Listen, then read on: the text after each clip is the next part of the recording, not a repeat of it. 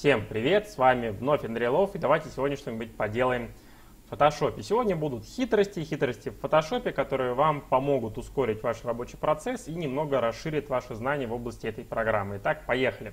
Первая хитрость – это перемещение объекта из холста в холст. Есть один нюанс. Давайте будем это рассматривать на примере предыдущего макета из прошлого ролика. В Photoshop есть такая фишка, что если у вас есть какой-то холст, создадим дубликат холста и сделаем произвольное кадрирование, то когда вы в этот холст перемещаете какой-нибудь объект из другого холста и просто его вставляете, то у вас объект вставляется ровно там, где у вас находится в данном случае мышка. Но есть одна хитрость. Если вы при перемещении объекта зажмете на клавиатуре клавишу Shift, то у вас объект четко становится по центру холста. То есть, если мы холст определим его центр направляющими. Вот он у нас, центр определился. И теперь э, посмотрим, где находится наша звездочка. Она находится по центру нашего холста. Это очень удобно делать для того, чтобы выравнивать макет и делать его более идеализированным. Я использую это в своей работе следующим образом. Я всегда создаю произвольный какой-то дополнительный холст, делаю его кадрирование просто безумно мелко, то есть чтобы у меня был тот холст, которым я точно пользоваться не буду. И если я что-то нарисовал, например, такую звездочку, мне ее нужно а, сделать по центру. Есть, конечно, массу всевозможных инструментов в Photoshop, чтобы центрировать, но я пользуюсь очень простым способом. Я перемещаю сюда и назад шифтом. У меня четко а, картинка становится по центру. Следующий момент, который, думаю, вам будет полезен, это смарт для выравнивания. Давайте мы здесь поставим нашу звездочку. Представьте, что у нас есть всевозможные текстовые слои. Эти слои у нас можно выровнять относительно центра. Достаточно выделив все эти слои в панели слоев зажатой клавишей Shift и в панели перемещения выбрать а, центровку. Но, как вы видите, сейчас у нас текстовый блок не находится по центру. Мы хотим, допустим, все это сверстать. Опять же, есть быстрые направляющие, есть всевозможные инструменты Photoshop, которые позволяют это сделать. Но, опять же, вот что можно сделать сейчас. Мы перемещаем все эти слои на более мелкий холст и назад зажатой клавишей Shift. Вот у нас автоматически э, по центру эти слои стали. И как же теперь это проконтролировать? Вообще я не люблю использовать линейки, я их как бы использую, но они не очень удобны тем, что когда они появляются, нету галочки, которая бы переключала, то есть э, между макетом без них и с ними. Поэтому я считаю, они не всегда удобны. Можно сделать такую хитрость, создать корректирующий слой цвет произвольный, преобразовать его в смарт-объект и сделать непрозрачность 17 пикселей. И нажав Ctrl-T, зажатыми клавишами Alt-Shift, мы можем уменьшать наш этот самый прямоугольник, и тем самым у нас фактически получается сетка. Мы визуально можем контролировать, насколько у нас объект находится равноудаленно относительно краев нашего макета. То есть мы можем расширять, смотреть, что да, звезда равно удалена, смотрим текстовый блок, тоже отлично сделано. Если у нас будет какое-то расхождение, вы всегда можете это двигать визуально и всегда перекликивать между состоянием холста с сеткой и без. И таким образом можно их создавать сколько угодно, делать быстрые таким образом сетки, так же как и делать это все по горизонтали. То же самое, некая сетка, которая у нас будет показывать нам относительно каких моментов находится объект. Это достаточно удобно. Я считаю, всегда это можно также в какую-то папку загрузить и перекликивать.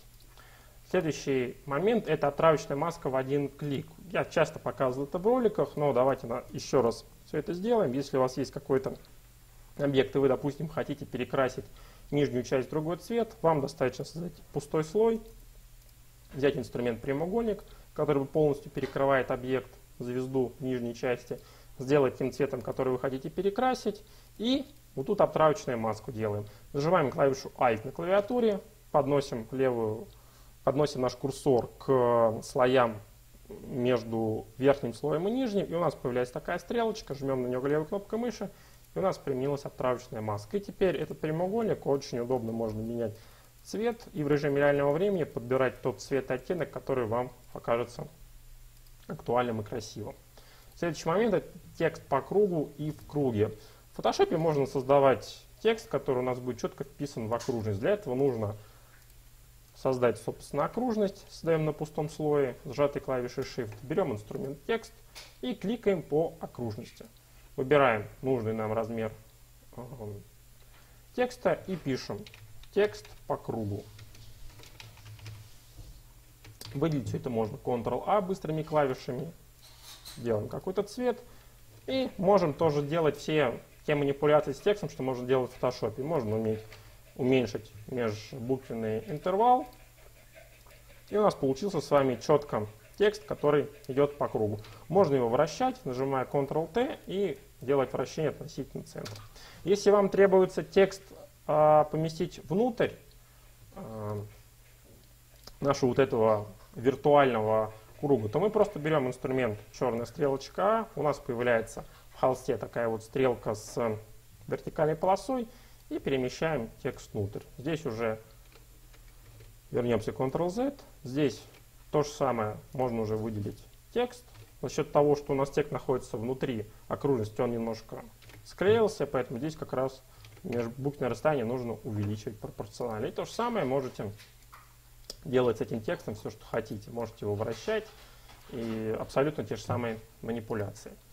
Следующий момент – это быстрая маска и ее инверсия. Тоже такая небольшая хитрость, которая поможет вам убыстрить ваш процесс работы. Итак, у вас есть какой-то слой, и вы хотите на основании него создать маску. Допустим, у вас есть а, вот такой вот красный кружочек, и есть какой-то объект, который вы хотите вычесть из кружочка маски. Пусть это будет и такой вот многоугольник, каким-то цветом, желтым. Мы кликаем на желтый наш многоугольник, зажатой клавишей Ctrl, у нас появляется белый муравей, перемещаем это на эллипс и сразу жмем маску. И у нас автоматически вычислась область, которая находится вне муравьев. Чтобы у нас вычислась та область, которая нам нужна, то есть в рамках желтого многогранника на этой же самой маске жмем горячей клавишей Ctrl-I и делаем инверсию. А, потому что обычно я вижу, что многие делают маску следующим образом. Они создают пустую маску, потом они ее заливают черным цветом, ну или же не так, вот они, в данном случае нам нужно, если вычесть желтый этот многоугольник, вот они создали маску, зажимают Ctrl.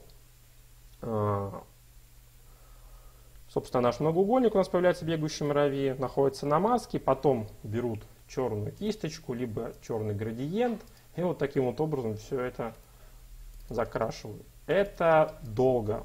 То есть эти моменты позволят вам упростить вашу работу, делать ее быстрее. Применяйте, я надеюсь, вам это все поможет. Вот такой вот небольшой ролик сегодня был. Если вам интересен такой формат, чтобы я делал каких-то 5-6 хитростей, быстро их показывал, то напишите свои пожелания. А на сегодня все. С вами был Андрей Лов. Всем пока.